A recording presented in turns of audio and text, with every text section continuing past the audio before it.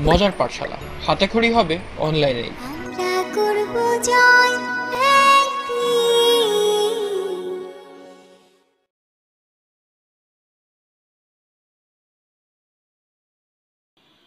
মজার পাঠশালার অষ্টম শ্রেণির অনলাইন বিজ্ঞান ক্লাসে সবাইকে স্বাগতম।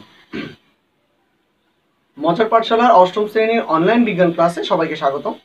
আজকে আমরা আলোচনা করব ষষ্ঠ অধ্যায় সম্পর্কে যেটা হচ্ছে পরমাণুর গঠন। তো পরমাণুটা কি? প্রত্যেকটি পদার্থই অসংখ্য ক্ষুদ্র ক্ষুদ্র কণিকা দ্বারা গঠিত। এই ক্ষুদ্রতম কণিকাকে বলা হয় পরমাণু।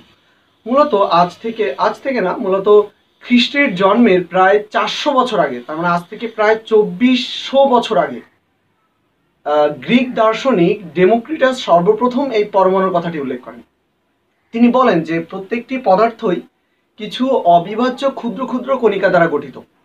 তিনি এই ক্ষুদ্রতম কণিকার নাম দেন পরমাণু বা অ্যাটম। অ্যাটম কথাটি, অ্যাটম অ্যাটম শব্দটি তিনি অ্যাটোমস শব্দ থেকে নিয়েছিলেন, যেটি একটি গ্রিক শব্দ, যেটার মানে হচ্ছে অবিভাজ্য। সেই একই সময়ে আরও দুইজন দার্শনিক ছিলেন, প্লেটো এবং অ্যারিস্টটল। তারা ডেমোক্রিটাসের এই মতে বিরোধিতা করেন এবং তারা বলেন যে না, পরমাণুর কণাকে আমরা যত ইচ্ছা, পদার্থের কণিকাকে আমরা যত ইচ্ছা ভাঙতে পারি। পরে প্রায় আঠেরোশো তিন খ্রিস্টাব্দে ইংরেজ বিজ্ঞানী জন ডাল্টন তিনি বিভিন্ন পরীক্ষা নিরীক্ষা করে জানান যে না, পরমাণুর কণা বিভাজ অবিভাজ্য, পরমাণুর কণা অবিভাজ্য। অর্থাৎ পরমাণুর কণাকে আমরা চাইলেই ভাগ করতে পারব না। কিন্তু বর্তমানে জানা গিয়েছে যে আমরা পরমাণুকেও চাইলে ভাঙতে পারি। পরমাণুও বিভাজ্য, পরমাণু অবিভাজ্য এই কথাটি অ্যাকচুয়ালি ভুল।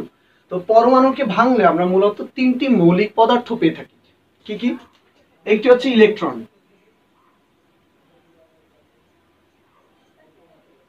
ইলেকট্রনটা হচ্ছে ঋণাত্মক আধান বিশিষ্ট এবং খুবই ক্ষুদ্র একটি কণা এবং এটি মূলত প্রচুর হালকা, অত্যন্ত হালকা একটি কণিকা। তো এখানে কথা আসতে পারে যে ভাইয়া ঋণাত্মক চার্জ, এখানে চার্জটা কি? চার্জটা হচ্ছে একটি পদার্থের বৈশিষ্ট্য, ভৌত বৈশিষ্ট্য হচ্ছে চার্জ।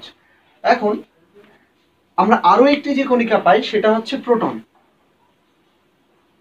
প্রোটন হচ্ছে ধনাত্মক চার্জ বিশিষ্ট।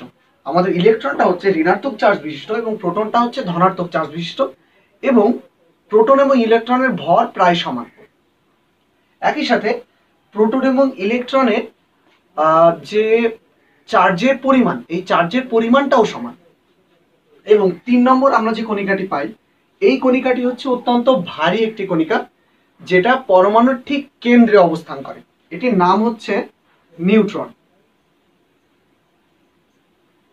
এখন আমরা তিনটি মৌলিক কণিকা তো পেয়ে গেলাম, কিন্তু একটা পরমাণুর মধ্যে এই তিনটি মৌলিক কণিকা কীভাবে অবস্থান করে?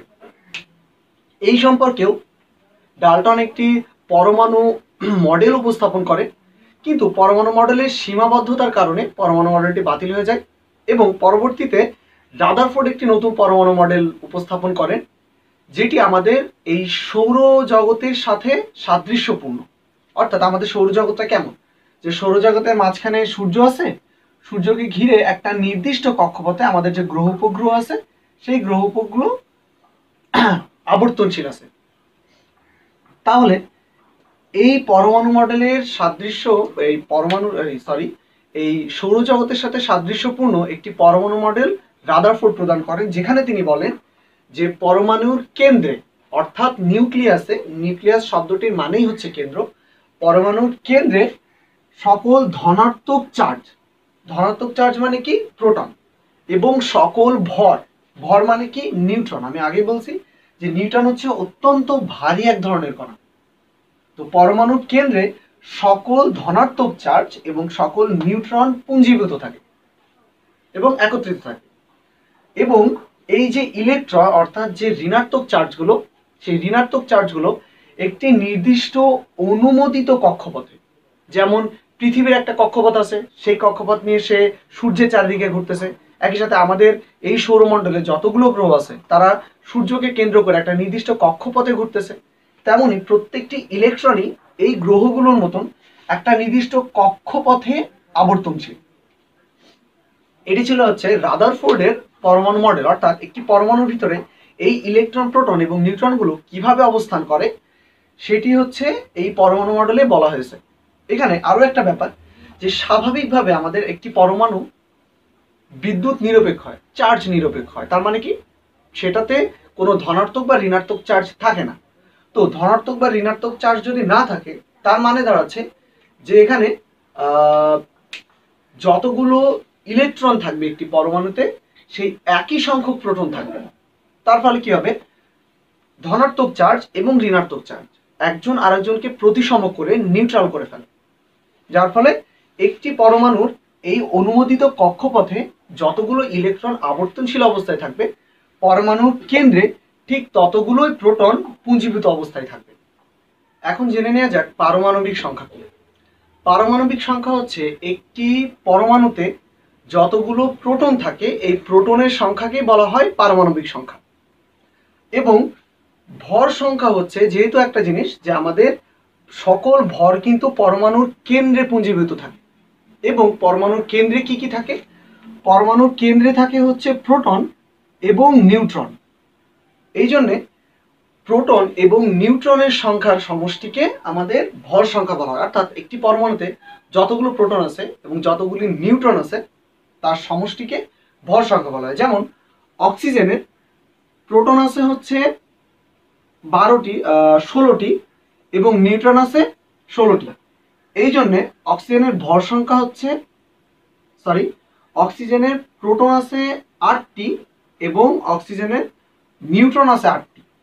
এই জন্যে অক্সিজেনের ভর সংখ্যা হচ্ছে ষোলো। আবার সোডিয়ামের প্রোটন আছে এগারোটি এবং নিউট্রন আছে বারোটি।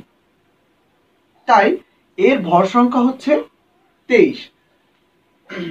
এবার জানা যাক আইসোটোপ সম্পর্কে। যেসব পরমাণুতে পরমাণুর প্রোটন সংখ্যা সমান হয়, কিন্তু নিউট্র ভর সংখ্যা ভিন্ন হয়, তাদেরকে আইসোটোপ বলে। যেসব পরমাণুর প্রোটন সংখ্যা সমান হয়, অর্থাৎ পারমাণবিক সংখ্যা সমান হয়, কিন্তু ভর সংখ্যা ভিন্ন হয়। তাদেরকে আইসোটোপ বলা হয়। তো আমরা ব্যাপারটা আরেকটু ব্যাখ্যা করি। আমরা কি জানি যে হাইড্রোজেনের পারমাণবিক ভর হচ্ছে এক। অর্থাৎ হাইড্রোজেনের অ্যাকচুয়ালি কোনো নিউট্রন নাই। হাইড্রোজেনের শুধুমাত্র একটি প্রোটন আছে এবং একটি ইলেকট্রন আছে। তো এটা হচ্ছে আমাদের হাইড্রোজেন পরমাণু, যার এটা হচ্ছে নিউক্লিয়াস, যার মধ্যে শুধু একটি প্রোটন আছে। এবং বাইরে একটি ইলেকট্রন আছে, ঠিক আছে? এর ভর সংখ্যা হচ্ছে এক এবং বেশ কিছু এমন হাইড্রোজেনের পরমাণু পাওয়া যায় যাদের কেন্দ্রে একটি প্রোটন এবং সাথে একটি নিউট্রন থাকে। তাহলে যদি নিউট্রন থাকে, তাহলে কি হচ্ছে? এর ভর সংখ্যা এক আর এক দুই হয়ে যাচ্ছে। আবার কিছু এমন হাইড্রোজেন পরমাণু পাওয়া যায় যার কেন্দ্রে একটি প্রোটন আর দুইটি নিউট্রন থাকে। সেই ক্ষেত্রে এর ভর সংখ্যা হয়ে যায় তিন। তাহলে দেখো, এই তিনটি হচ্ছে হাইড্রোজেন পরমাণু, কিন্তু প্রথম হাইড্রোজেন পরমাণুর ভর সংখ্যা হচ্ছে এক, দ্বিতীয় হাইড্রোজেন পরমাণুর ভর সংখ্যা দুই এবং তৃতীয় হাইড্রোজেন পরমাণুর ভর সংখ্যা তিন।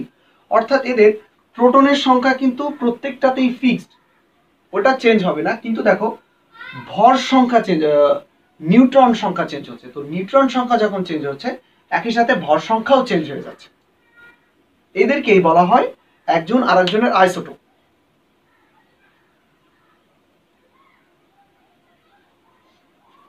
তো এই পরমাণুটাকে বলা হয় হচ্ছে প্রোটিয়াম দুই ভর সংখ্যা বিশিষ্ট হাইড্রোজেনের পরমাণুকে বলা হয় ডিউটেরিয়াম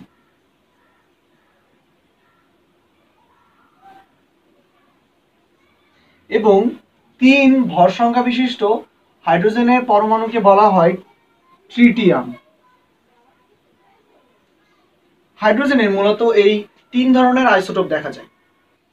এখন জেনে নেওয়া যাক আইসোটোপের ব্যবহার সম্পর্কে। আইসোটোপ চিকিৎসা ক্ষেত্রে মূলত দুই ধরনের কাজে লাগে। একটা হচ্ছে রোগ নির্ণয়ে, আর একটা হচ্ছে রোগ নিরাময়। রোগ নির্ণয় যে কাজটি করে, আমাদের শিরার ভিতরে রক্তনালীর ভিতরে যদি কোথাও কোনো ক্ষত সৃষ্টি হয়, তাহলে রক্তের সাথে কিছু আইসোটোপ আমাদের রক্তে প্রবেশ করায় দেওয়া হয়, যার ফলে আমরা ওই ক্ষত স্থানটাকে নিশ্চিত করতে পারি। একই সাথে ক্যান্সার কোষ শনাক্তকরণেও আইসোটোপের ব্যবহার আছে এবং একই সাথে ক্যান্সার কোষ ধ্বংস করতেও আইসোটোপ ব্যবহার করা হয়। এই গেল কৃষিক্ষেত্রে আমাদের আইসোটোপের ব্যবহারটা। কৃষিক্ষেত্রে পতঙ্গ নিরাময়ে এবং কখন কি পরিমাণে সার প্রয়োজন হবে এটা নির্ধারণ করতে আইসোটোপ ব্যবহার করা হয়। খাদ্যদ্রব্য সংরক্ষণের ক্ষেত্রে দেখা যায় কি যে কিছু তেজস্ক্রিয় পদার্থের কারণে জীবাণু জন্মাতে পারে না এবং কিছু তেজস্ক্রিয় পদার্থ দিয়ে জীবাণু ধ্বংস করে ফেলা যায়। তো এই তেজস্ক্রিয় পদার্থ উৎপাদন করাই হচ্ছে আইসোটোপের সাহায্যে। এই তেজস্ক্রিয় পদার্থগুলোর উৎপাদন করা হয় আইসোটোপের সাহায্যে, অর্থাৎ আইসোটোপ থেকেই এই তেজস্ক্রিয় পদার্থগুলো, রশ্মিগুলো নির্গত হয়।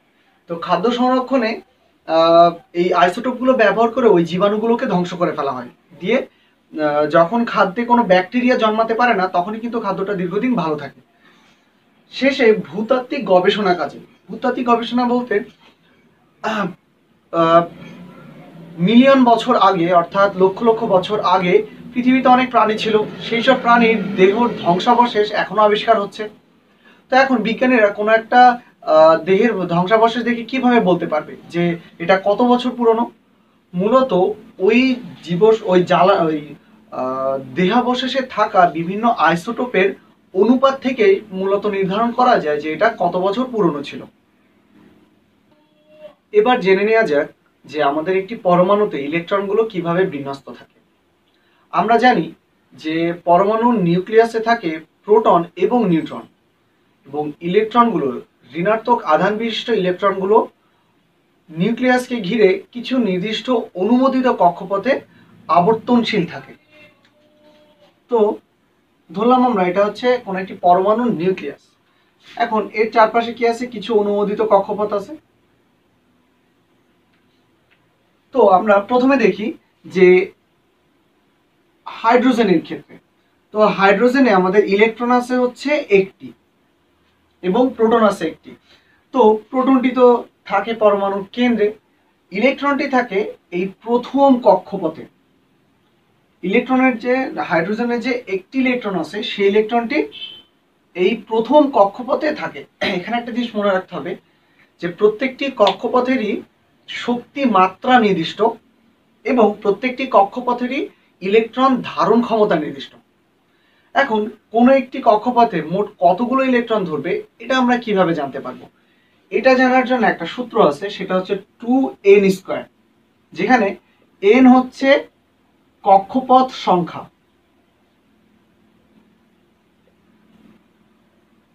অর্থাৎ ওটা কত নম্বর কক্ষপথ, এটা নির্ধারণ করা যায় তার মানে যদি আমাদের প্রথম কক্ষপথ হয়, অর্থাৎ এন ইকল টু যদি এক হয় তাহলে টোটাল ইলেকট্রনের সংখ্যা হবে কত? এককে স্কোয়ার করলে একই পাবো, গুণ দুই করলে দুইটি, তার মানে সর্বোচ্চ প্রথম কক্ষপথে দুইটি ইলেকট্রন থাকতে পারবে। এবার আমরা যদি এন ইকল টু দুই নিই, অর্থাৎ দ্বিতীয় কক্ষপথের ক্ষেত্রে অর্থাৎ এর পরে দ্বিতীয় যে কক্ষপথটা, তো দ্বিতীয় কক্ষপথের ক্ষেত্রে কি দেখা যায়? যে আমরা যদি এখানে টু এর মান বসাই, তাহলে দুই দুগুণি চার চার দুগুণি আট, তার মানে ইলেকট্রন থাকতে পারবে আটটি। অনুরূপভাবে আমরা যদি তৃতীয় কক্ষপথের কথা আলোচনা করি, তাহলে তৃতীয় কক্ষপথে ইলেকট্রন থাকতে পারবে তিন তিরিকে নয় নয় দুগুনি আঠেরোটি। এভাবে চতুর্থ কক্ষপথে থাকতে পারবে বত্রিশটি। ঠিক আছে? এখন দেখো যে ইলেকট্রনগুলো কীভাবে থাকে, এই জিনিসটা আমরা একটু দেখে নিই।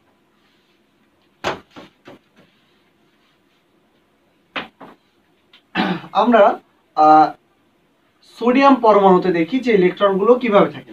সোডিয়াম পরমাণুতে আমাদের ইলেকট্রনের সংখ্যা আছে এগারোটি। তাহলে প্রথমে কি হবে? প্রথমে সে প্রথম দুইটা, প্রথম যে কক্ষপথটা আছে, সেই কক্ষপথে দুইটা ইলেকট্রন অবস্থান করবে। তাহলে অবশিষ্ট কয়টা থাকে? এটা হচ্ছে প্রথম কক্ষপথের ইলেকট্রন সংখ্যা। তারপর আমরা দ্বিতীয় কক্ষপথে যাই। এখন এগারো থেকে আমি যদি দুইটা বাদ দিই তাহলে আমার থাকবে হচ্ছে নয়টি ইলেকট্রন। কিন্তু আমার দ্বিতীয় কক্ষপথে সর্বোচ্চ ইলেকট্রন ধরবে কতটি? আটটি। আমি এগুলো ইংলিশে লিখি।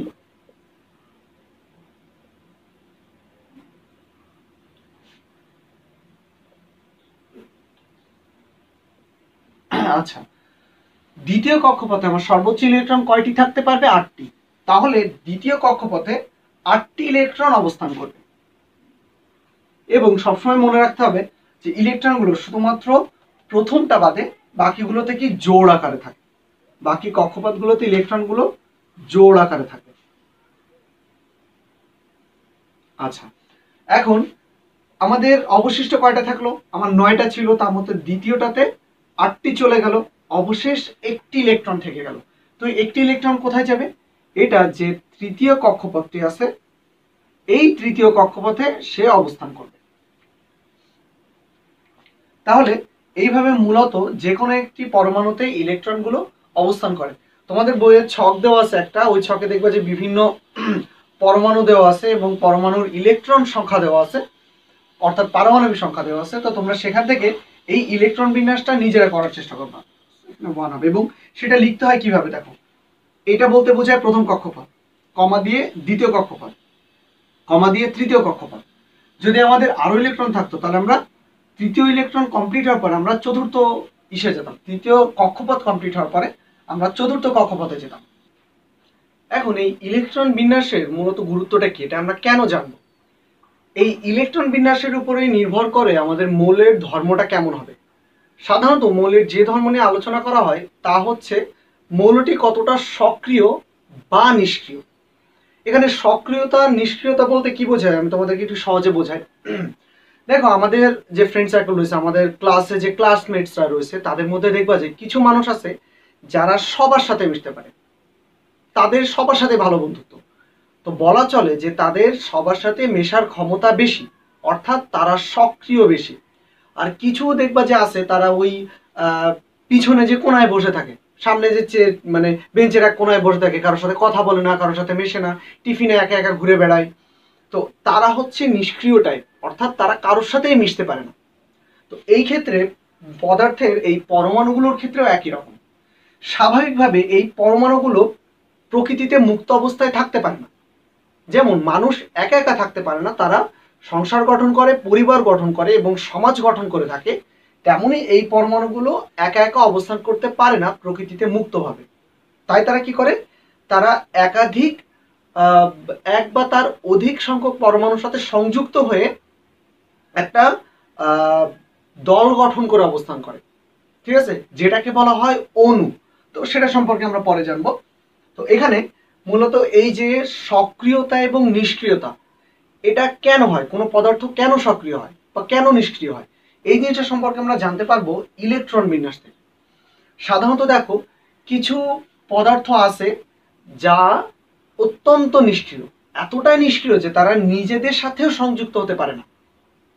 তেমনই নিষ্ক্রিয় পদার্থ আছে যেমন helium, neon, argon, krypton, xenon, radon, এই যে মৌলগুলো আছে, এই মৌলগুলো অত্যন্ত নিষ্ক্রিয় পদার্থ। এদের উপরে নিষ্ক্রিয় না। এরা এতটা নিষ্ক্রিয় যারা নিজেদের সাথে সংযুক্ত হতে পারে না। তো সেই ক্ষেত্রে এদের ইলেকট্রন বিন্যাসগুলো পর্যালোচনা করে দেখা গেছে কি যে এদের যে শেষ কক্ষপথটি থাকে, শেষ কক্ষপথে সবসময় অষ্টক পূর্ণ থাকে। অর্থাৎ শেষ কক্ষপথে আটটি ইলেকট্রন থাকে। অর্থাৎ শেষ কক্ষপথ, এই ক্ষেত্রে দেখো যে আর্গনের কক্ষপথ কিন্তু তিন নম্বর। শেষ কক্ষপথ হচ্ছে তৃতীয় কক্ষপথ। তো তৃতীয় কক্ষপথে স্বাভাবিকভাবে আমাদের কতটি? আঠেরোটি ইলেকট্রন থাকতে পারে, কিন্তু শেষ কক্ষপথে কিন্তু আটটি ইলেকট্রন আছে। তো শেষ কক্ষপথে এই আটটি ইলেকট্রন থাকার ঘটনাকে অষ্টক বলা হয়। এবং এই অষ্টকপূর্ণ অবস্থাটা যে কোনো একটা পরমাণুর ক্ষেত্রে এতটাই স্থিতিশীল অবস্থা যে এরকম অষ্টকপূর্ণ অবস্থায় থাকলে সে আর কোনো মৌলের সাথে সংযুক্ত হতে চায় না। এইখান থেকে আমাদের এই যে সক্রিয়তা এবং নিষ্ক্রিয়তার একটা সুন্দর ব্যাখ্যা পাওয়া যায়। সেটা কি? যে প্রত্যেকটা মৌলই চাবে যে আমি আরেকজনের সাথে সংযুক্ত হয়ে আমার শেষ কক্ষপথে আমার যদি আটটি ইলেকট্রন না থাকে, আমি আটটি ইলেকট্রন পূর্ণ করব। যেমন, সোডিয়ামের ক্ষেত্রে দেখো যে শেষ কক্ষপথে ইলেকট্রন আছে কয়টি? মাত্র একটি। এদিকে ক্লোরিনের শেষ কক্ষপথে ইলেকট্রন আছে কয়টি? সাতটি। তাহলে এখানে দেখো, সোডিয়ামের পক্ষে অষ্টক পূরণ করতে গেলে কোন কাজটা তার জন্য সহজ হয় বেশি? সেই ক্ষেত্রে সোডিয়াম দুইটা কাজ করতে পারে। একটা হচ্ছে সোডিয়াম চাইলে আরও সাতটি ইলেকট্রন কারও কাছ থেকে শেয়ার করে, কারও কাছ থেকে নিয়ে সে তার শেষ কক্ষপথে আটটি ইলেকট্রন কমপ্লিট করতে পারে। কিন্তু প্রশ্ন হচ্ছে যে, কোনো পরমাণু এতটা দয়ালু হয় না যে তারা আট, সাতটি ইলেকট্রন দান করবে বা শেয়ার করবে। সেই ক্ষেত্রে কি হয় যে সোডিয়াম যদি তার শেষ ইলেকট্রনটা আরেকজনকে দান করে দেয়, আরেকজনকে দিয়ে দেয় তাহলে দেখো তার কিন্তু অষ্টক পূরণ যাচ্ছে সেক্ষেত্রে কি হবে? Two eight. শেষ কক্ষপথে কতটি হচ্ছে আমার? কক্ষপথের সংখ্যা কমে যাক, তাতে সমস্যা নেই। কিন্তু শেষ কক্ষপথে আমার ইলেকট্রন সংখ্যা কত হচ্ছে? আট, তার মানে অষ্টক পূর্ণ হচ্ছে। এই ক্ষেত্রে সে একটি স্থিতিশীল অবস্থায় আসবে। এখানে দেখা একটা জিনিস, যে এটা হচ্ছে আমাদের স্বাভাবিক সোডিয়ামের ইলেকট্রন বিন্যাস। কিন্তু এখান থেকে কি হচ্ছে আমাদের? যে সে একটা ইলেকট্রনকে দিয়ে দিচ্ছে কাউকে না কাউকে, যাকেই দিক ম্যাটার না, দিয়ে দিচ্ছে কাউকে। তো তাহলে এই ক্ষেত্রে যেহেতু সে একজনকে যদি ইলেকট্রন দিয়ে দেয়, তাহলে তার একটা ইলেকট্রন কমে যায় না। আমরা কি জানি যে যতগুলো ইলেকট্রন থাকবে একটা পরমাণুতে, ঠিক ততগুলোই প্রোটন থাকবে। তাহলে যদি একটা ইলেকট্রন কমে যায়, তাহলে কি হবে? একটা প্রোটন বেশি হয়ে যাবে। আর প্রোটনের চার্জ আমরা কি জানি? ধনাত্মক। তাহলে এই সোডিয়াম পরমাণুতে একটা ধনাত্মক চার্জ উৎপন্ন হবে। একটা ধনাত্মক চার্জ এই জন্য আমরা কি উপরে প্লাস দিয়ে জাস্ট একটা প্লাস দিছি। এখন প্রশ্ন হচ্ছে যে ভাইয়া যদি দুইটা ধনাত্মক চার্জ তৈরি করতো সোডিয়াম না করুক অন্য যে ধরো একটা এ পরমাণু, সেই দুইটা ইলেকট্রন ছেড়ে দিল, তাহলে কি আমরা দুইটা প্লাস দিব? হ্যাঁ দিতে পারি। আবার আর একটা কাজ করতে পারি আমরা, দুইটা প্লাস না দিয়ে আমরা টু প্লাস দিতে পারি। ঠিক আছে? বা আমরা প্লাস টু দিতে পারি, তার মানে ধনাত্মক চার্জ আছে দুইটি। আচ্ছা এখন এই যে ধনাত্মক আয়ন তৈরি করল, এই ক্ষেত্রে এই ধনাত্মক আয়নটাকে বলা হচ্ছে ক্যাটায়ন এই ধনাত্মক আয়নের যে নামটা হয়, সেটা হচ্ছে ক্যাটায়ন। তার মানে এটা হচ্ছে সোডিয়াম ক্যাটায়ন। আচ্ছা এখন ক্লোরিনের ক্ষেত্রে আমরা বিবেচনা করি। ক্লোরিনের ক্ষেত্রেও একইভাবে শেষ কক্ষপথে কয়টি আছে? সাতটি ইলেকট্রন আছে। তো এই সাতটি ইলেকট্রন ক্লোরিনের পক্ষে কিন্তু ত্যাগ করাটা অনেক কঠিন ব্যাপার। ঠিক আছে? কারণ সাতটা ইলেকট্রন সে কাকে দেবে? আর কেউ কেন তার সাতটা ইলেকট্রন আরেকজনকে দিয়ে দিবে? এই জন্যে সে কি করবে? সে যদি আরেকজনের থেকে একটা ইলেকট্রন ধার করে নিয়ে আসে নিয়ে এসে যদি এখানে বসায় দেয়, তাহলে কিন্তু তার অষ্টক পূর্ণ হয়ে যাবে। সেই ক্ষেত্রে তার কি হবে? টু এইট এইট তার মানে তার শেষ কক্ষপথে কি? আটটি ইলেকট্রন হয়ে যাচ্ছে। ঠিক আছে? তাহলে সবসময় কি আমরা সহজ পথটা অবলম্বন করি?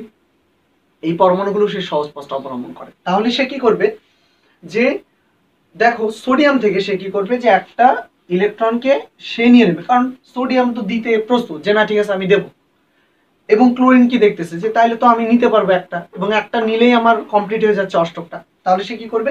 ওই একটা ইলেকট্রনকে নিয়ে এখানে পূরণ করে ফেলবে, তার শূন্য স্থানটা তাহলে দেখো, এই ক্ষেত্রে আমাদের সোডিয়ামের কি হবে? শেষ কক্ষপথে আটটি ইলেকট্রন থাকবে এবং ক্লোরিনের ক্ষেত্রেও শেষ কক্ষপথে আটটি ইলেকট্রন থাকবে। এই ক্ষেত্রে এটা হচ্ছে আমাদের ক্লোরিনের স্বাভাবিক ইলেকট্রন বিন্যাস। এবং এই ক্ষেত্রে কি হচ্ছে দেখো? সে যখন একটা ইলেকট্রন নিয়ে নিচ্ছে তখন তার একটা ইলেকট্রন বেশি হয়ে যাচ্ছে। একটা ইলেকট্রন বেশি হয়ে যাওয়া মানে কি? তার একটা ঋণাত্মক চার্জ বেশি হয়ে যাচ্ছে। সেই ক্ষেত্রে আমরা এখানে একটা মাইনাস চিহ্ন দিয়ে। যে এটা একটা ক্লোরিন পরমাণু, যার একটা প্রোটো ইলেকট্রন বেশি আছে। তো যখনই একটা ইলেকট্রন বেশি হয়ে যায়, তখন ঋণাত্মক চার্জে আহিত হয়ে যায় এবং এই ঋণাত্মক চার্জ বিশিষ্ট পরমাণুকে বলা হয় হচ্ছে অ্যানায়ন আচ্ছা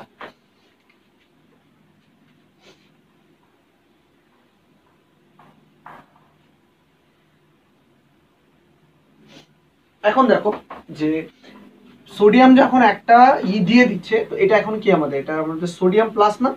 আর এটা আমাদের কি এখন? Chlorine minus. তাহলে দেখো যে এখন কি হবে? যে এটা একটি ধনাত্মক চার্জ এটা একটি ঋণাত্মক চার্জ এখন এই ধনাত্মক চার্জে আহিত যে পরমাণুটি, এটি কি করবে? ঋণাত্মক আয়নের প্রতি আকৃষ্ট হবে। আকৃষ্ট হয়ে কি করবে? যে এরা দুইজন একসাথে এসে একটা বন্ধন গঠন করবে। ঠিক আছে? বন্ধন গঠন করলে আমরা কি পাবো? আমরা পাবো খাবার লবণ, অর্থাৎ সোডিয়াম ক্লোরাইড।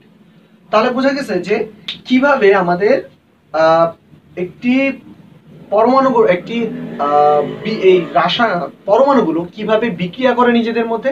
এখন কথা হচ্ছে যে, একটা জিনিস দেখো যেহেতু তার সোডিয়ামের শেষ কক্ষপথে একটি মাত্র ইলেকট্রন ছিল তো একটি ইলেকট্রন ত্যাগ করা কিন্তু খুব একটা কঠিন ব্যাপার না। খুব একটা সহজ একটা ব্যাপার। আবার একটা ইলেকট্রন গ্রহণ করাও কিন্তু খুব সহজ ব্যাপার। তো এখানে এই যে একটি ইলেকট্রন ত্যাগ মূল, তার মানে দেখো, আমাদের শেষ কক্ষপথে কতটি ইলেকট্রন আছে এটার পর ডিপেন্ড করবে যে সে কত দ্রুত আরেকজনের সাথে ইলেকট্রন শেয়ার করতে পারবে এবং কত সহজে বন্ধন গঠন করতে পারবে। তার মানে আমাদের এই শেষ কক্ষপথে ইলেকট্রন সংখ্যার উপরেই ডিপেন্ড করে যে মৌলটি কতটা সক্রিয় হবে। এই ক্ষেত্রে কি খুব সহজেই তারা কিন্তু এই কাজটি সম্পাদন করতে পারবে? তার মানে খুব সহজেই বন্ধন গঠন করতে পারবে। কিন্তু যদি এরকম হতো যে শেষ কক্ষপথে কয়টি? চারটি ইলেকট্রন আছে।